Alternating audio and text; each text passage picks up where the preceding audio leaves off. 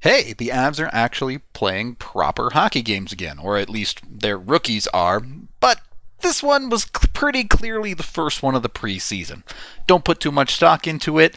Avs lose to the LA Kings in rookie fashion, four to nothing. Oh my goodness gracious!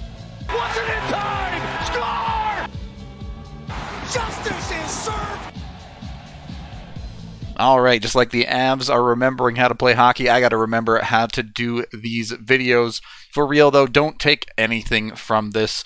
In rookie tournaments and stuff like that, I do believe players can probably raise their stock in some cases, but I never really say that they can lower them because this is preseason. They're still just figuring things out, getting loose. A lot of these guys are going through their first time with an NHL team in preseason and camp. So just don't put too much stock into it in general. With that being said, outside of a couple of the bigger names, it showed quite a bit in this tournament. The Kings brought a ton of their prospects that played in the AHL together last year, and they played as a pretty cohesive unit. The Avs brought a bunch of guys who haven't really played together very much, if at all, and there were no systems. It was just full YOLO hockey, and they kind of got beaten pretty handily. The names you would expect showed well. Byram, when he was active and engaged in this game, looked like one of the better players on the ice. Newhook was a little bit all over the place. He clearly showed some confidence, and if he had chemistry and experience playing with any of these other dudes, very likely would have had a couple of points. But again, no systems, no real connection to any of these players. A lot of these guys didn't even know who each other were less than a week ago. The Avs rookies lasted 1 minute and 7 seconds before giving up the first goal of the preseason. Bear with me on these first two goals because the camera work is not the best, but the Kings are able to collect the puck back in their own zone. And you see the Avs commit two forwards high here. So when the puck comes out, not exactly sure what happens here. Andreas Wingerli is clearly at the blue line here, and he manages to stop this puck and keep it in initially, but something happens and Wingerly ends up falling over. So as the Kings eventually do get this puck out of their zone, all three forwards are lost in the offensive zone as the Kings go the other way. Now, on the way coming back, there's clearly some miscommunication here. Beaucage is the first forward coming back, and he's going to commit to the puck here. The problem is his defenseman is going to commit to the puck as well. This is a three on two situation for the defense. You cannot really take yourself out of this play to try and seal off the boards because when you do that, a simple pass across creates a two on one. And now you're in trouble. Your defenseman is all alone. No one's going to be able to come back and help support. You're just in a terrible place. And the pass is going to come across to Chromiak. And then maybe a touch slow getting across here, but he has to respect the initial play. And it's a tap in from there. Not a great start all the way around, but, you know, it is what it is. The rest of the first period was extremely slow from the Avalanche side. In fact, for a significant portion of this game, the Avs struggled to generate any offense at all out of the names I already mentioned and a couple other occasional chances. You would see Olausson get involved a little bit with that top line, sometimes Shane Bowers too, but just not a ton of offense, especially down the list. Ranta, Beaucage, Foudy.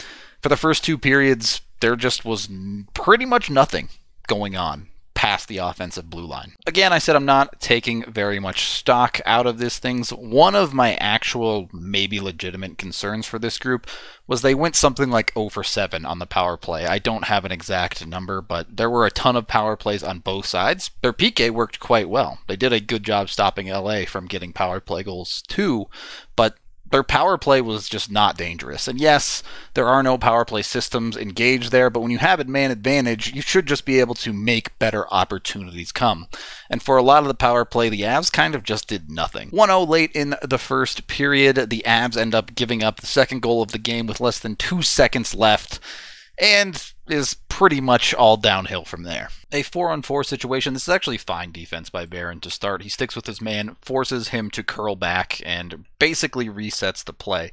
The problem is the Avs are stuck deep in their own zone and they have no one committing up high. Maybe there's supposed to be a switch there from this high forward that just doesn't happen, but you can see everything above the circles is completely uncontested by the Avs, leaving a ton of room for LA to work with. The initial shot gets snapped off immediately I do believe Annunen makes the save, but he gives up a rebound here. Did not have the best rebound control of the night. Even that, though, you should be fine here. The Avs have two bodies right in front. The Kings have none. Unfortunately, as the puck trickles out, you can see it right here. Sampo Ranta just never sees it, has no idea where it is, turns his back to the puck, completely lost, and that gives enough time for the Kings player to roof it over Annunen. So you can pretty clearly see the sloppiness with this team, particularly on the defensive side, without systems to use Annunen, I thought actually played pretty okay, certainly for a game where he ended up giving up four goals in it. His rebound control did need some work, but he also just got no help from the defense in front of him a lot of the time. The second period, things started to look better. In particular, I thought Justin Barron stood out quite a bit. On a team with no systems, he was one of the very, very few players that was actually positionally responsible, regularly covering back, and being sometimes the only man back to help break up odd man rushes and that didn't stop him from making smart pinches and getting involved on the offensive side when there were opportunities to do so. There were things to like about these rookies, despite it being a game where they were held scoreless. You just have to dig a little bit deeper sometimes. Ultimately, the Avs give up another goal in the second period, this one is entirely on the goaltender. Forgive me for not knowing the Kings prospects by name, I just don't know their system very well besides the guys at the very top. This one is uh, pretty gross to watch. Avs coming back here. The puck is in deep, right on Annunen's stick. This is a nothing play and shouldn't even be dangerous. You have Barron cutting to this corner and his other option cutting it to the far corner. He can do pretty much whatever he wants with this, and he has plenty of time to choose. You can see he gets his head up and checks to go on his forehand side, but ultimately decides to hit his backhand. Unfortunately, he does this without head checking first. Doesn't see that the Kings player has cut Barron off, and going up the boards is not an option. Barron probably could have communicated with him to let him know that's not an option, but with this much time, Annunen really needs to check before he blind throws a pass to nobody. The turnover immediately results in a goal as Annunen can't recover. The third period did see the Avs start to push the offense a little bit more. You started seeing a lot more of Bowen Byram, and a lot of the offense from the Avs run directly through him for these rookies. He generated a ton for them. Really, their most of their quality scoring opportunities did come from Byram, or at least through Byram. So he looks solid. He looks like he's using this as a tune up. He's going to be in the NHL. You got what you wanted from him. Not a whole lot to this one beyond that. They end up do giving up a fourth goal, which you can check out here.